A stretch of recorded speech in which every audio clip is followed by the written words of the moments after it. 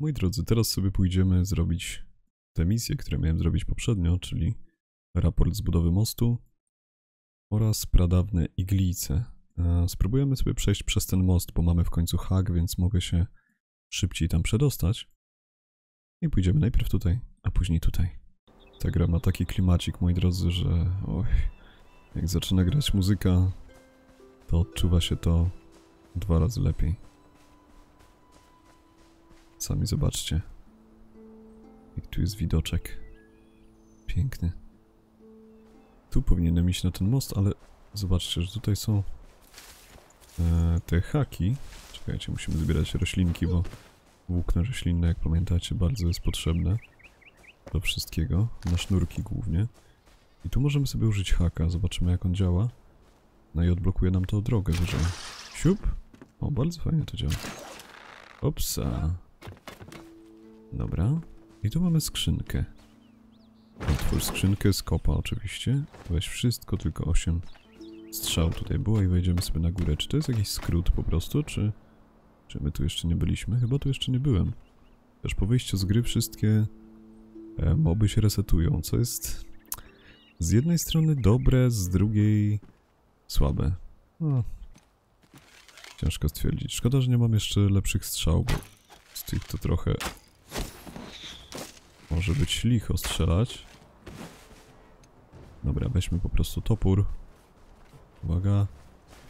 I skaczemy. Unik jeden.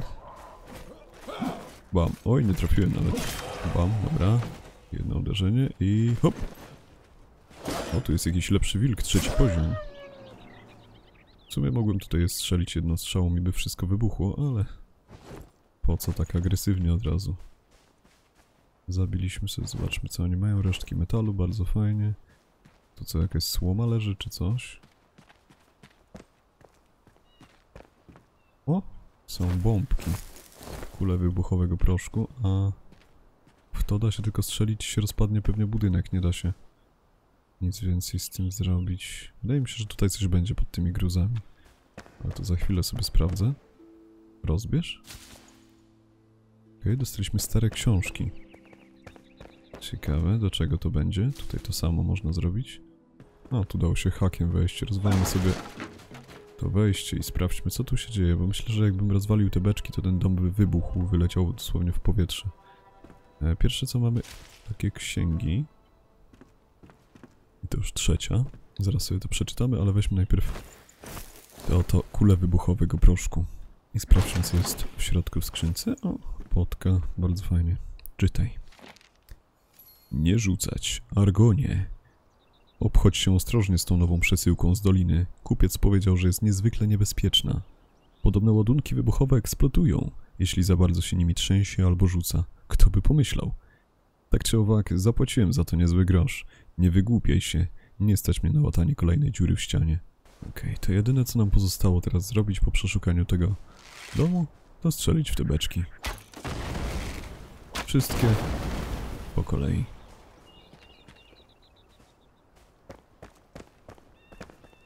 Z domu jednak coś tam pozostało. Rozwalony został tylko dolny poziom, ale tutaj wybuchła dziura i mamy skrzynkę. A w niej mistrzowska buława. O, cholerka, znowu pszczoły mnie gonią. Ciekawe, czy da się je zabić tym... O, da się, ale... Mało się zadaje. Cholera, dużo to bije. Jeden rój pszczół zabity, jeszcze ten drugi został. Okej. Chyba tego jest tu więcej, wiecie? Nie, były dwa roje. Wszystko zabite, czyli teraz mogę miodek w sumie im zakosić. Tylko gdzie ten? Tutaj jest. Uuu, trzy sztuki. Dobra, to wiecie co? Zetniemy to drzewo i tak będzie łatwiej. No, tak nie do końca to spadło. I nie do końca o to mi chodziło. Ale niech będzie. Udało się. A, no tu jesteśmy na górze jakby tego miejsca, z którego sobie skakaliśmy. E, na obóz, z którym się biliśmy wczoraj z tymi potworami strasznymi. I gdzie zginąłem. Okej, wracamy na most. I hoppa! O fuck, czy ja tam dolecę teraz? Tak, powinno się udać. I hopsa. Skrót jest bardzo fajny. Działa. Nie musimy dołem przynajmniej przechodzić, tylko sobie podbiegam. Używam haku. I przechodzimy dalej. Tu jakiś truposz leży. Okej. Y, A tu jak przejść? Chyba tam, czekajcie. Tu sobie muszę E użyć. A, i możemy się tak koły... Już kurwa. Dobra, czyli trzeba... Trzeba od razu zaskoczyć, nie można się tak kołysać po prostu. I teraz hopsa. Dobra, jesteśmy. Tu mamy pułapki. Dostał łeb. Dostał łeb. I dostał łeb. Przejdziemy boczkiem, nikt nas tutaj nie zabije. I nic nam się nie stanie. Zlutuj. O, dużo z tego było metalu. No dobra, idziemy sobie do tego pobocznej, do tej pobocznej misji najpierw tutaj, dopiero później na iglicę. Wziąłem troszkę głośniej muzykę i dźwięki z gry powinno być teraz lepsze odczucie imersji. Mam nadzieję, że wczujecie się w to tak samo jak ja. Zauważyłem, że YouTube trochę ścisza tą drugą ścieżkę dźwiękową. Wyrównuje do pierwszej jakby, więc nie podoba mi się to, ale co zrobić. Droga jest zablokowana, by przejść dalej potrzebujesz haka z liną, ok. Jestem w stanie tam wejść, tylko czy ja chcę tam iść? Mm, nie do końca. Chcemy tutaj odbić w prawo. Tam pewnie pójdziemy później. Mała kopalnia krzemienia. Dobra, ale ktoś mi powie po cholerę mi ten krzemień w końcu, bo ja naprawdę nie wiem. Chciałbym robić krzemienne strzały. No ale to nie odblokowała mi się receptura w ogóle. Czekajcie, zobaczymy jeszcze raz. V. Tutaj mamy drewniana strzała. No i ani tutaj na górze nie ma do wyboru.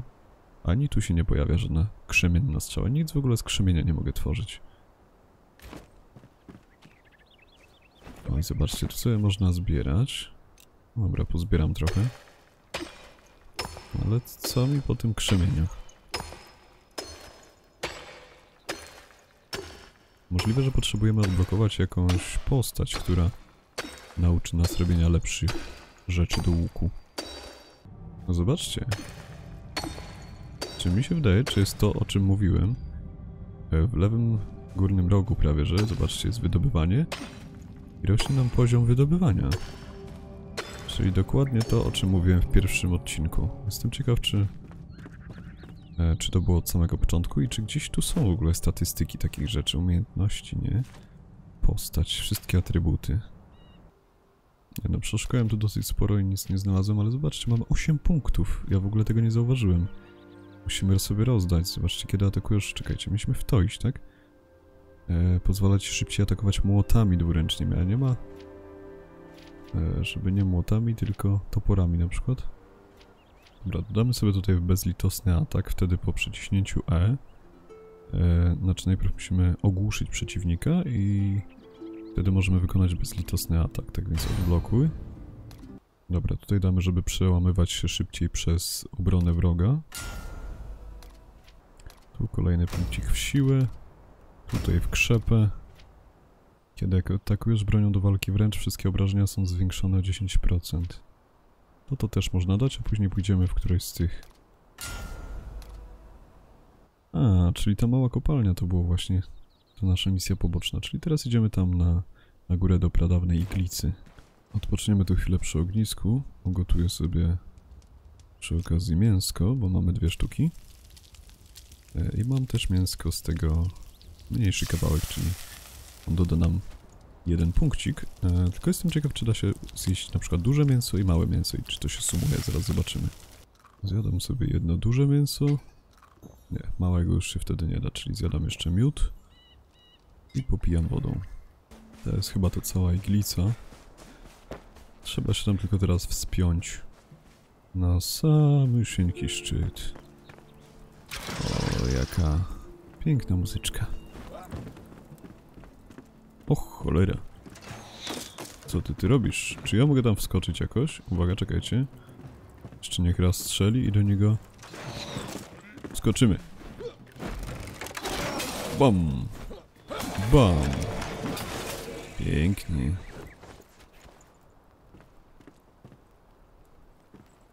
Tu mamy koleżkę jeszcze. Czy on tu wejdzie? Chciałbym go zaznaczyć i uwaga. O cholera, straciłem HP dużo. Nie ma co tak zeskaki... zeskakiwać. Skrzynia. A w niej długi leśny łuk. No akurat my chyba mamy lepszy, zobaczmy sobie. Ten ma 10 i ten też ma 10, ok, ale ten koszt wytrzymałości 15, a ten 5. No i jest fioletowy, więc fajniejszy. Notatka. Wyobraź to sobie. Na horyzoncie dostrzegasz zatopione kamienne filary, przesłonięte kopcami ziemi. Rozciągają się ku niebu niczym kamienne kości palców tytana. Znak ukrytego grobowca. Schody wewnątrz prowadzą w ciemność. Z pochodnią w ręku schodzisz w dół, w niepewności. W strach. Jednak twoje poszukiwania prowadzą cię głębiej. Chorobliwy skarb wzywa cię, pozostawiony, by zgnił w kurzu. Czy to klejnoty rodzinne? Pamiątki z odległych wybrzeży? Cokolwiek to jest, mój przyjacielu, będzie to fundament naszego imperium. Kamieniem węgielnym fortecy wzniesionej z przelanej krwi. Brzmi dobrze? Znam przybliżoną lokalizację, jeśli podejmiesz się poszukiwań. Gerit, podzielę się towarem. Zgoda? Okej, okay, czyli gdzieś coś jest i fajnie by było to znaleźć. Ej, chyba nam się właśnie dodała misja dzięki temu. Poboczna tutaj. Poszukiwanie ukrytych grobowców. No, ale to później. My się skupiamy teraz na tym. Hmm, kolejna notatka jakaś. Zobaczmy co tam na nas czeka. A to co? Zbierz. Kwiat aureolari. Co? Aureolari. Dobrze przeczytałem. I tu włókna roślinne. Może coś będzie dało się alchemikować. Mam nadzieję, że tak. Weź. Ognisko. Ok. Tu ktoś leży. Zbierz przedmioty. Czytaj. Nieszczęście uderza jak piorun. Błyskawice rozpalają niebo. To moje jedyne źródło światła, odkąd ogień został zgaszony przez tę bezlitosną lewę. Oczywiście widziałem zbierające się chmury, zanim wyruszyłem przeszukać ukryty grobowiec. Czułem zagrożenie w, powietrz- w, powierz- w powiewach wiatru. Pomimo znaków ostrzegawczych zmusił mnie do wyruszenia w drogę. Możesz przeczekać burzę, ale woda może zatopić nasz skarb w błocie. Zniesiesz widok zmywającego nasze imperium, Gerit? Och, ten diabeł o srebrnym języku. Grobowiec jest blisko, ale wiatr i deszcz powstrzymują mnie przed pójściem dalej. Te skrzypiące drzewa ledwie mnie chronią, więc na pewno będę przemoczony. Tekst kończy się nagle. Chyba spadło na niego to drzewo. Piorun dupnął. To to miejsce. I drzewko się zawaliło. No cóż, zdarza się. A co to jest za zawalony filar tutaj? Coś mogę znaleźć? Czy to tak jest bardziej kwestia ozdobna? Chyba ozdobna. Okej, okay, wspinamy się na tą iglicę. Zajrzę jeszcze tutaj, bo to wygląda dosyć interesująco, ale chyba nie. Chyba to jest tylko, żeby ładnie wyglądało. Ale tutaj mamy kukurydzę, więc sobie ją później ugotuję i będzie nam zwiększała siłę. Kukurydzę przydałoby się hodować, bo wiem, że tutaj da się hodować roślinki, jakieś pomidory i tak dalej. No ale to chyba w późniejszym etapie gry. Strolog z krainy wiosny. Odnaleziono pradawną iglicę w krainie wiosny. Takie osiągnięcie dostałem. O! Co my tu mamy? Futra, książka. Pradawne iglice, promienie światła. Te iglice pną się ku niebu i odbawiają wstępu niegodnym. Pradawni wchodzą do środka, ale nigdy nie wychodzą. Mam dwie teorie. Pradawne iglice są ze sobą w jakiś sposób połączone, a milczące istoty przemieszczają się między, między nimi, gdy tylko zechcą. Uuu, to może być jako teleport. Druga, pradawne iglice to miejsce pochowku. Podobnie jak kaplice płomienia. Pradawni przechowują wszelką wiedzę w płomieniu, gdy opuszczają wymiar śmiertelników. Tak czy inaczej, nie mogę wejść do środka. Kiedy staję na zdobionej płycie, nic się nie dzieje. Szkoda. Baltazar. Kiedy staję na zdobionej płycie, nic się nie dzieje. Hmm. Czyli będziemy musieli tu pokombinować troszkę. Jest zdobiona płyta. Wejdziemy sobie zaraz na środek, ale najpierw, o właśnie, chciałem ten punkt odblokować, żebyśmy się tu mogli pojawić. Wygląda mi to bardziej na teleport niż na Miejsce pochowku. Tu jest lawa. Tutaj chyba nic. Można to rozwalić? Jakieś wazy? Można i... O, wosk wypadł. A tutaj woda. Okej. Może lepiej by było kilofem to rozwalać. Nie? Siekierą? O, siekierą jest ok. O wiele szybciej. No dobra, nie będziemy tu dewastować wszystkiego. Chciałem tylko sprawdzić, a teraz stańmy sobie na tym... Płyt, na tej płytce. Użyj. Oho, u nas chyba zadziałało. No i tak jak mówił, jest to teleport. Gdzie my do cholery teraz jesteśmy? W tym samym miejscu, tylko chyba pod ziemią albo na górze tej iglicy. Trzeba to miejsce całe przeszukać. Tu mamy te sarkofagi, czy co to jest? Co to? Sól? I wosk, ok. Dobra, tu są jakieś drzwi i jakiś panel. Niektóre drzwi są zamknięte, lecz możesz je otworzyć, jeśli znajdziesz i naciśniesz właściwy przycisk. Klik. Otworzyło się, a tutaj co mamy? Zobaczmy z pochodnią, woda. O ja cię. To jest dopiero widoczek, co? Wow. Okej, poza ładnym widoczkiem nic tutaj nie ma. Tak więc idziemy dalej, otworzyliśmy sobie drzwi przyciskiem. I co? Coś więcej tu będzie? Wygląda na to, że tylko skrzynia. Otwórzmy ją. Błyskawica pasterza. No, magii nie będę używał, ale biorę. Rozłożymy sobie to na części. No dobra, ale co dalej? To wszystko? To by było dziwne, jakby tu była tylko jedna skrzynka i... I tyle. Może do nas teleportuje teraz dalej, bo ja tam słyszę jakieś ostrza.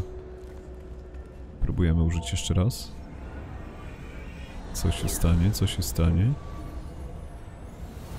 Teleportowało nas znowu na dół. Cholera. A misji nam nie zaliczyło. Coś musiałem pominąć. Wróćmy się tam jeszcze raz. Dobra, już znalazłem, zobaczcie. Mamy tutaj hak, tylko żeby to otworzyć pewnie trzeba jeszcze raz przycisnąć ten guzik. Naciśnijmy to. Uuu, nie da się. To gdzieś musi być jeszcze jeden ukryty przycisk. Dobra, nic nie znalazłem. Skoczymy sobie tutaj i... Otwórz, dobra, czyli działa. Okej. Doszliśmy do czegoś takiego i tam jest kolejny teleport. A tu wysuwają się kolce. Mogę tam wskoczyć. No dobra, zejdźmy najpierw na dół. Zobaczmy, czy coś tutaj jeszcze jest. O, proszę. Skrzyneczka. O, pocisk lodu. I jakaś mikstura many. No, nie dla nas, ale... Warto wziąć. Dobra, tutaj już nic nie ma. Czas przejść teleportem dalej. Okej, jesteśmy w jakiejś kolejnej części. Tu mogę skoczyć nad lawę yy, i będziemy na tych kratach. Hopsa! Kolejne drzwi, ale zamknięte. Musimy znaleźć przycisk, żeby otworzyć. O, może tutaj? E, chyba w to trzeba strzelić, co? Tak jest. Otworzyło się przejście, mamy kolejną skrzynię. Różdżka ucznia. Hopsa. I hopsa. Dobra, co mamy dalej? Zejście po schodkach w dół. I następny teleport. A czemu są drzwi otwarte? Nie, stąd przyszliśmy, to coś... Coś nie tak. A nie, tu jeszcze nie byliśmy, okej. Okay. Wszystko się zgadza. Otwieramy kolejne drzwi. Wezmę pochodnie, żeby coś widzieć. Kolce. Czyli tędy nie przejdziemy. Wejdźmy na balkon. O, cholipka, tu już może być ciężej. Dobra, wchodzimy na te. Teraz na te. I tutaj. Te się chowają, te wychodzą. Te się chowają, te wychodzą. Dobra. Okej, okay, stąd przyszedłem. Tu mamy dwie pary drzwi. Albo te. Albo tamte. Ale to jest skomplikowane, fajne, podoba mi się. I tu, żeby się dostać, trzeba to jakoś otworzyć guzikami dwoma. E, ale jest w środku złota skrzynia, więc warto. Dobra, to można po kracie wejść. I mamy pierwszy przycisk. Tu skrzyneczka ukryta. Okej. Za takim filarem, tylko trzeba jeszcze jeden guzik znaleźć. Pewnie będzie w tą stronę. Tu mamy lawę i trzeba skakać po... Ups. Po takich filarach. Możesz użyć skoku sprinterskiego, aby pokonać większy dystans. Sprintuj i wykonaj rozbieg przed skokiem, aby wylądować na pozornie niedostępnych platformach. No spoko to. Czy to robię od samego początku. Kolejna skrzynka. I kolejne sprzęty. Uuu, nie mam miejsca na to. Trzeba coś wywalić z ekwipunku. Dobra, rozmontujemy sobie te wszystkie różdżki. Ten łuk można rozmontować. I jeszcze jedną tutaj mam tutaj. Okej, i teraz to wygląda znacznie lepiej. Tu można teleportować się dalej, ale jeszcze nie chcemy. Musimy odblokować ten pierwszy pierwszy punkt. Wydaje mi się, że stamtąd będzie łatwiej doskoczyć tu. Ale dobra, spróbujemy. Tak jak proponują tędy i tędy. Są pierwsze takie zagadki, więc nie powinni zrobić nic, niczego trudnego. To tak, żeby każdy mógł to wykonać. Jak nie za pierwszym razem, to za którymś z kolei. Ok, mamy dwa przyciski, otworzyło się i złota skrzynka. Tomahawk 14 obrażeń, no nie jest to nic fajnego. Teleportujemy się zatem dalej. I chyba, moi drodzy, jesteśmy w końcu na szczycie. Podejdźmy, zapalę pochodnie, żeby zobaczyć. O, chyba będę mógł się tu teleportować. Co my tu mamy? Opcję z płomieniem. Te pradawne iglice odblokowują szybką podróż po całym świecie i odkrywają pradawną wiedzę o Dolinie Żaru. Ruszaj naprzód, dziecię. Kraina musi zostać odnowiona. Czyli tak jak myślałem, jest to punkt taki nawigacyjny. Możemy się do niego teleportować. O cholera, tu się jakoś dużo rzeczy pojawiło na mapie. Czyli jak sobie w to kliknę, tak, jest szybka podróż, ok. Pradawna iglica. Do domu też mogę się teleportować. A, do tego też, czyli to jest pierwszy punkt. Dom to jest drugi. Tutaj jest trzeci, który sobie sam stworzyłem, ale będzie trzeba go usunąć, bo to jest no, taki tymczasowy, testowy bardziej. No i tu mamy kolejny. Stąd można wszędzie zeskoczyć, to jest fajne. I lecieć sobie na jakąś część mapy. Mączka kostna, o, podniosłem przed chwilą. Można jakąś widmową tarczę z tego zrobić, ciekawe. Dobra, czyli mamy kolejne punkty do zwiedzenia, tutaj jakieś znaki zapytania. Chyba pojawiły nam się te rzeczy, bo zauważyliśmy je z wieży. Tu jest coś ciekawego, tu jest coś ciekawego, ale nie wiemy co to, tu tak samo, tu. Jakieś punkciki, opowieść o zgliniźnie, by zaleczyć stare rany, opowieść o ogniu. Sanktuarium płomienia. Jeszcze nie wiem na czym się teraz skupimy, tu też sanktuarium płomienia. E, ale myślę, że porobimy te poboczne misje i dopiero później pójdziemy do, do głównej. Ale na ten moment wróćmy się do naszego domku. Coś tutaj płomień chce nam jeszcze powiedzieć, tak więc sprawdźmy to. Pradawne krypty skrywają głosy uciszone przez mgłę. Mimo to w ciemności wciąż błyskają iskry. Niegdyś najdzielniejsza łowczyni w krainie oraz alchemik posiadający wiedzę z wielu stuleci. Przebudź ich, gdyż pomogą ci w podróży. O, łowczyni i alchemik. Dobra, rewelacja. E, tylko sprawdzę jeszcze, co tutaj rdzenie mgły jeszcze potrzebujemy, więc tego nie zrobimy. A wzmocnić? Wosk, sól, soli jeszcze nie wiem skąd wydobywać. Iskry 5, no to też nie damy rady. I głowa matrony, no to nie, to tutaj jeszcze długo w takim razie. A więc udało ci się dotrzeć na szczyt pradawnej glicy, e? Znam kilka osób, które oddałyby wszystko za taki widok, chociaż teraz może wcale nie ma tak wielu rzeczy do obserwowania. Okay, to jednak na razie nie będziemy robić pobocznych misji, tylko pójdziemy właśnie odblokować kolejne postaci. Tu jest alchemik, a tu jest pradawna łowczyni. Wydaje mi się, że ta łowczyni nauczy nas robić lepsze strzały. Więc pierwsze co, ustawiam punkt trasy na łowczynię i spróbujemy tam coś podziałać. Okay, postawiłem sobie jeszcze... Co tam się dzieje? Postawiłem sobie jeszcze jedną skrzyneczkę właśnie na jedzenie, picie i tak dalej. I mikstury. I poprzerzucam sobie tutaj jeszcze te przedmioty.